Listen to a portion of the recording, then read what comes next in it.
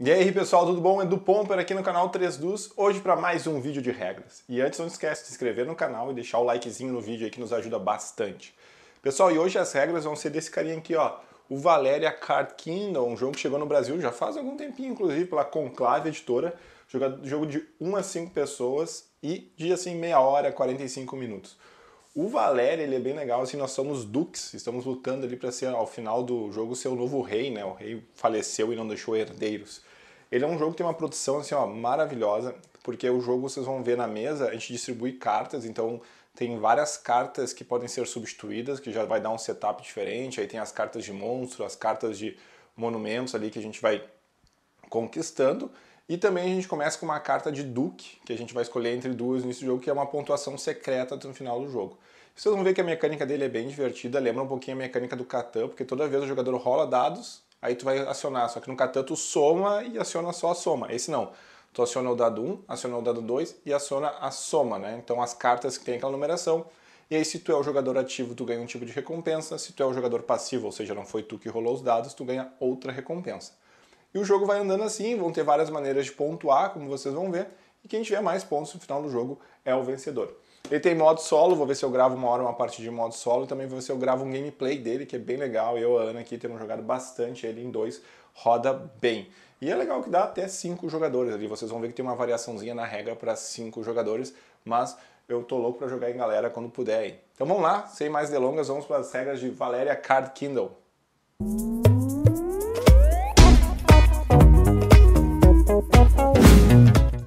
Este episódio tem o apoio da Távola Games. Seja você também um cavaleiro da Távola.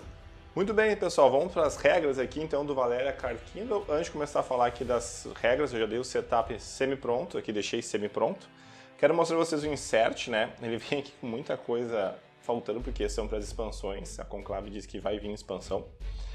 E aqui são as fichinhas, essas fichinhas separam os tipos de carta, porque a gente não vai usar todas as cartas numa partida. Então isso aqui dá uma variabilidade bem legal, então tu vai ter várias alterações aqui de uma partida para outra nas cartas que tu escolher. Então eu acho muito bom esse insert aqui, muito legal a proposta. Vamos lá então, como é que a gente monta aqui a mesa principal? Ela vai ter quatro linhas e cinco colunas, se eu não montei aqui a última linha ainda, mas vamos primeiro aqui para a primeira linha. A primeira linha de cima são os monstros. Tu vai escolher cinco monstros. Esse setup que eu estou montando aqui, pessoal, é o setup recomendado para a primeira partida, tá? Então tu vai fazer o quê? Tu vai pegar as cartas de monstro por tipo. Como é que tu sabe o tipo de monstro? Ele tem um símbolozinho aqui, ó, que vai estar tá escrito. Essas aqui são as colinas. E aí tu vai pegar esses monstros e tu vai ordenar eles do mais fraco para o mais forte. Como é que tu sabe? É esse aqui, ó. Isso aqui é a força dele, ó. Então, esses caras aqui que são os uns estão em cima. Daí depois tem um que é 3 e o de baixo é o 6. E tu vai fazer isso em todas as pilhas. Por exemplo, essa daqui, a última, ó, essa aqui já começa em 5, depois vai para 9 e depois para 14. Né? Então, tu vai organizar dessa maneira aqui as 5. E aí tu pode escolher. Como eu estou simulando para dois jogadores só aqui, a única coisa que muda no setup é quando tu vai jogar em cinco jogadores. Aí para cinco jogadores dos monstros, ó, tem essa carta aqui, ó, que tem um 5zinho. Todo monstro vai ter essa carta. Essa aqui tu tira fora, tu só vai usar isso aqui para jogo de cinco jogadores.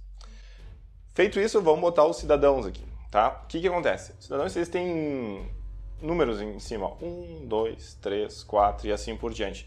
Tu vai escolher um de cada número. Por exemplo, existe um outro lá que também é o um, tá? Que agora não lembro o nome. Se não me engano é o monge. O monge também é um. Então tu vai escolher entre o clérigo ou o monge para botar e assim por diante. De novo, esse aqui é o setup recomendado para a primeira partida. E tu vai colocar quantas cartas essa aqui, ó. Repara que aqui, ó, vai ter uma pilhazinha de cinco cartas. Para cinco jogadores, tu vai ter seis cartas. E aí tu vai ordenar isso aqui dessa maneira. Aí falta montar essa última linha aqui. Essa última linha aqui é a linha do domínio. Aí tu vai fazer o quê? Tu vai embaralhar as cartas de domínio e tu vai distribuir da seguinte maneira: cabeça virada para baixo, tu vai botar duas em cada pilha, viradas para baixo, ó, aqui. E depois, na última, tu deixa virada para cima. Então, tu só sabe o domínio que está em cima da pilha aqui. Tá? Domínio, domínio. Então, é assim que tu monta... Opa, baguncei tudo aqui, tá tão bonitinho. É assim que tu monta as pilhas de domínio. Certo? O que mais? Vai fazer reparar os recursos, né?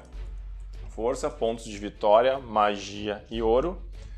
Cada jogador começa com dois ouros e uma magia, então tu vai entregar aqui para cada jogador dois ouros e uma magia. Cada jogador também começa com um cavaleiro inicial e um camponês inicial, e tu também pode entregar essa carta de referência para o jogador aqui, que é um resuminho né, das fases do jogo e de toda a iconografia do jogo também. Então cada um pode ficar com uma dessas aqui, é bem útil. Vou deixar de lado aqui por enquanto, depois eu uso elas. E por último, antes de começar, tu vai pegar as cartas de Duque. As cartas de Duque é uma pontuação de final de jogo. Tu vai embaralhar e tu vai entregar duas para cada jogador. Então esse jogador ganha duas, esse jogador ganha duas.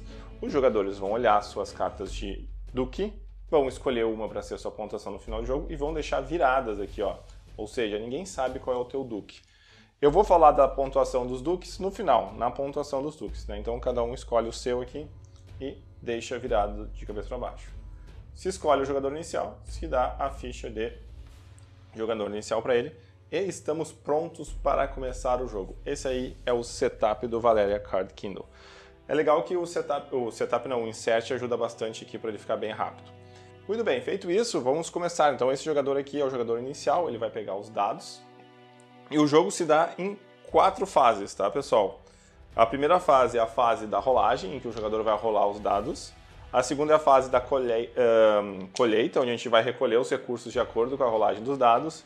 Aí vem a fase de ação, onde cada jogador pode fazer até duas ações. E depois a fase final, que é o jogador vai passar os dados para outro jogador. Então vamos ver cada fase uma por uma. Então a primeira é a fase da rolagem. O que o jogador vai fazer? Vai rolar os dados. Aqui ó, saiu 1 e 4. O que, que significa? Os dados definem quais personagens vão ser ativados. Tu tem o jogador ativo, que é aquele que rolou os dados, e tu tem o passivo. Então, por exemplo, nesse caso saiu 1 e 4.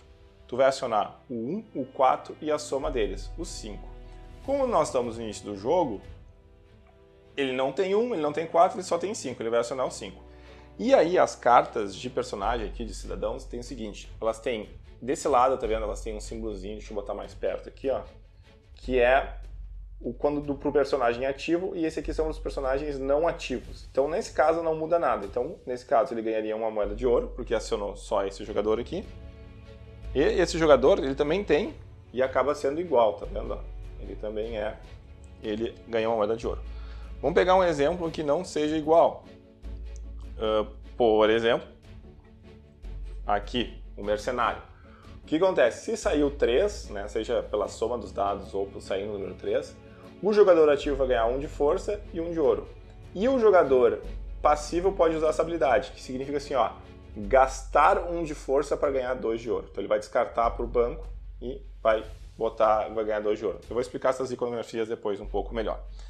Então, basicamente, essa é a fase de ativação. Ah, eu posso ter mais de uma carta. Vamos dizer que esse jogador aqui, ele tinha um segundo camponês já, que eu vou explicar como é que tu pode comprar. Bom, é ativado duas vezes. Ao invés de ele ganhar uma moeda de ouro, ele vai ganhar duas moedas de ouro, porque ele tem dois. Ele pode ter várias da mesma carta, não tem problema nenhum. Pessoal, uma coisa bem importante aqui na fase de ativação é o seguinte, tu pode ativar teus personagens na ordem que tu quiser. Por exemplo, tu tem esse cara aqui, ó, que é o campeão e tu não tem moeda. Mas aí saiu um 5 e um 3. Vamos botar aqui, ó. 5 e 3. Isso dá o quê? Vamos dizer que ele tem esses caras aqui, ó. O 5 e o 3 vai acionar o 3, o 5 e o 8. Eu não tenho moeda, vamos dizer que ele está sem moeda. Mas eu ganho uma moeda daqui. Então eu posso ganhar essa moeda primeiro e depois usar ela para ganhar os 4 de poderes aqui. Tá? Então a ordem que tu ativa os teus personagens é a tua escolha. Se acontecer do jogador rolar os dados ele não puder ativar nenhum, vamos dizer que saiu isso aqui, 1 um e 2, ele não ativou nenhum deles, ele simplesmente escolhe um recurso, a escolha dele, e pega. Recurso, tá pessoal? Não um ponto de vitória. Ponto de vitória não pode pegar.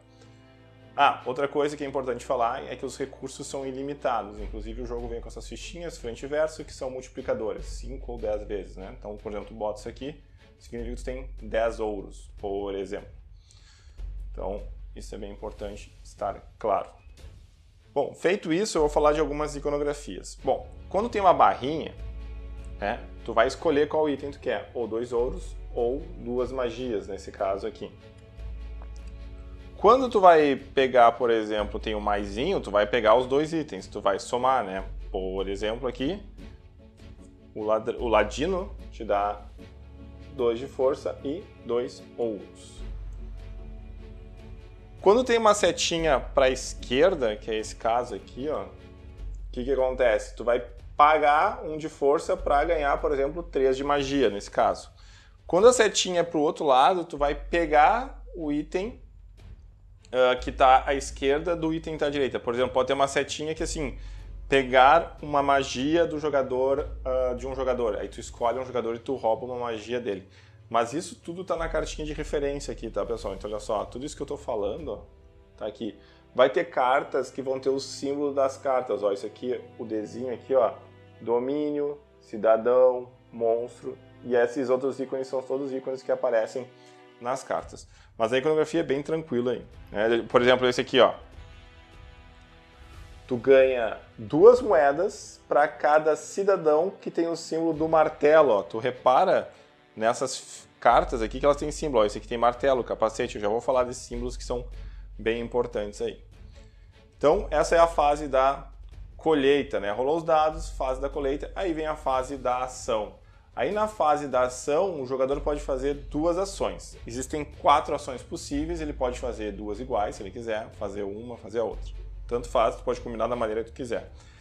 As ações são quais? Primeira, derrotar o monstro recrutar um cidadão, comprar um domínio ou ganhar um recurso qualquer. Olha eu batendo nas, nas cartas de novo. Então, vamos lá. Como é que a gente derrota monstro? Primeira ação possível. Para derrotar monstro, tu vai ter que pagar em fichinhas de força a o requisito que está aqui. Repara que, por exemplo, esse carinha aqui precisa de força e magia. Tá. Uma coisa bem importante, como é que funciona a magia? A magia ela é um coringa, tá, pessoal? Então, vamos dizer o seguinte, eu quero derrotar esse cara e eu tenho um, uma força e uma magia. Eu posso gastar os dois aqui, ó. Ó, essa magia tá valendo por força e vou derrotar esse cara. Detalhe, eu não posso usar só magia. Por exemplo, ah, eu vou usar essas duas magias como força. Não, tu tem que ter pelo menos um do item. A mesma coisa para o ouro. O ouro a gente vai usar para comprar depois as cartas. Por exemplo, esse mercador, ah, eu quero gastar um ouro e uma magia. A magia vale como coringa. Posso usar só duas magias? Não. Tu tem que sempre usar pelo menos um dos recursos ali. Então vamos lá. Derrotou o monstro, vamos dizer, paguei um aqui, tu vai olhar a tua recompensa embaixo da carta. Ó. Repara que é a mesma iconografia de antes. Por exemplo, esse monstro aqui, esse aqui tu vai ter que pagar 5 de força e uma magia. Tu pode usar inclusive a magia para pagar força, sei lá, eu posso ter três forças, aí eu pego mais duas magias para completar esses cinco e mais uma magia para isso aqui, tá? Então eu tenho que gastar uma magia e eu ainda posso usar elas como coringa aqui. Vai me dar o quê?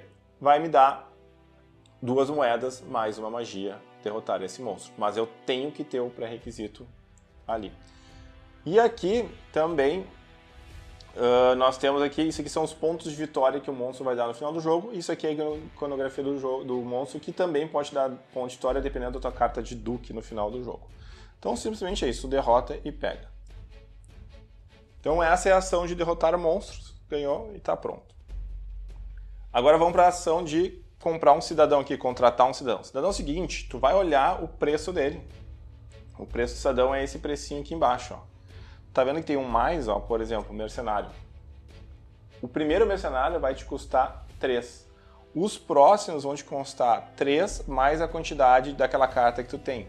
Então, por exemplo, esse cara aqui já tem um camponês, já tem dois camponeses. Significa que esse cara aqui, o segundo que ele comprou, ele já pagou três, porque ele custa dois, ele tinha um, então ele pagou três. Ele pode comprar outro camponês? Pode. Aí é dois mais dois vai custar quatro. Então esse simplesmente é o custo. Tu simplesmente comprou, vai botar eles aqui, vai deixar para tu ver os símbolos deles aqui também é importante tu ver os símbolos dele. E aí tu pode deixar assim, né, na verdade, porque daí tu já sabe que, ah, eu tenho dois, então vai acontecer duas vezes a mesma coisa, as cartas são iguais, dos mesmos tipos. Então tu vai poder ativar eles aí. Então simplesmente tu paga, né, pro banco o valor em moedas, tu pode usar a mana, né, como coringa, junto com as moedas para pagar e ele vem aqui para tua região de jogador. A terceira ação é comprar aqui um domínio. Como é que tu faz para comprar o domínio? Simplesmente tu tem que pagar o custo dele, mas o domínio tem que cuidar o seguinte, ele tem pré-requisitos, ó. Tá vendo que tem esses símbolos aqui, que é os símbolos que tem nas cartas aqui dos cidadãos? Tu tem que ter esse símbolo. Então para comprar isso aqui, ó, eu tenho que ter um símbolo de um martelo e de uma chave, por exemplo. Ah, esse jogador já teria o martelo, ele não tem a chave. Então, por exemplo, eu teria que ter um, comprado um ladino para depois pagar. E aí, tu vai fazer o quê? Tu vai pagar o custo, isso aqui vai te dar ponto no final do jogo e ele te dá uma, normalmente, ele pode te dar uma ação imediata, ele pode te dar um poder passivo, depende da carta. Ó. Imediatamente ganhe uh, das pilhas centrais, que é isso? É um cidadão com martelo. Imediatamente tu vai pegar e vai escolher um dos caras que tem martelo, que nesse caso é um desses três aqui, e vai ganhar ele para ti, ou seja, te dá um recrutamento de graça aí, né? Ó, esse aqui, por exemplo, ó, durante sua fase de colheita, ganhe uma moeda por cavaleiro que possuir. Então, na fase de colheita, na sua fase de colheita, tu vai ganhar uma moedinha para cada cavaleiro que tu puder. Então, os domínios eles têm vários poderes e vai. E a última ação, pessoal, é ganhar um recurso. Tu escolhe uma força, uma magia ou um ouro e ganha ela para si, tá? Essa é a uh, quarta ação possível. Lembrando, tu vai fazer duas delas na ordem que tu quiser, na combinação que tu quiser. Se quiser fazer duas vezes a mesma, não tem problema. Feito isso, o que, que acontece? O jogador passa os dados para o outro jogador. E o jogo vai se dando assim. Sempre que tu comprar um domínio, tu vai revelar o de baixo, Tá? O que, que acontece? Quando acabar uma pilha, seja ela do que, do que for, tu vai botar uma cartinha de exaurido. Quantas cartas de exaurido tu bota no jogo? Sempre o dobro de jogadores. Aqui nós estamos em uh, dois jogadores, então eu coloquei quatro cartas de exaurido, certo? E aí o jogo vai acabar quanto? Existem algumas condições que podem dar o start de fim de jogo. Então as condições são as seguintes: se derrotar todos os monstros, vocês vão ver que isso não pode acontecer com dois jogadores, mas com mais jogadores pode acontecer. Se todos os domínios tiverem sido construídos, ou seja, acabou aqui os domínios aqui embaixo, também acaba o jogo.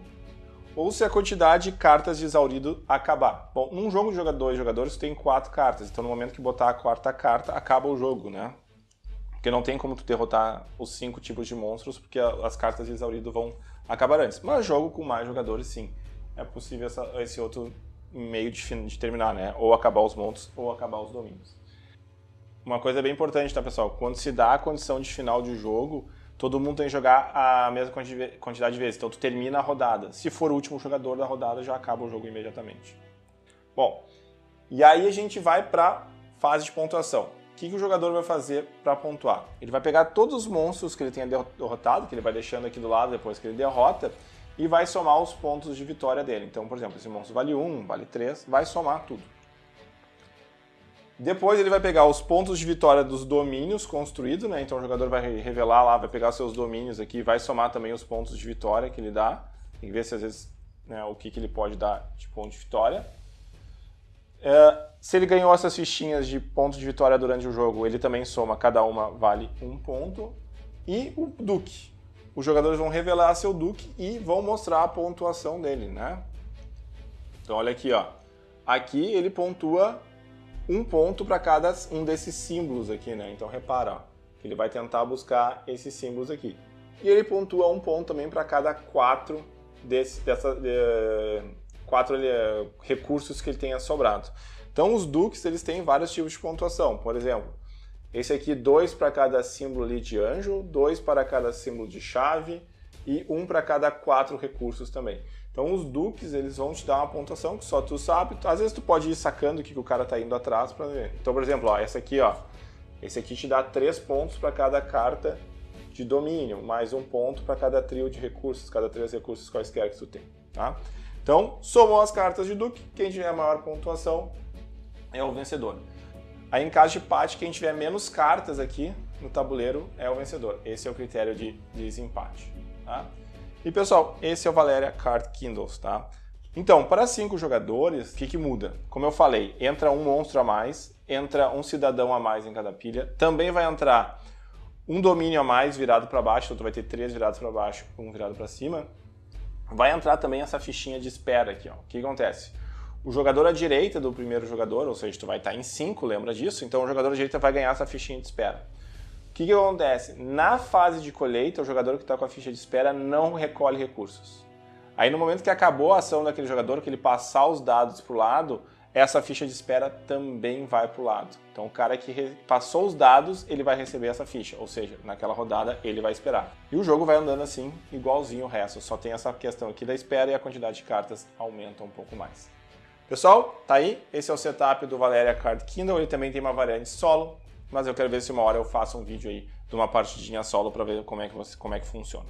Certo? Valeu, aquele abraço, até mais.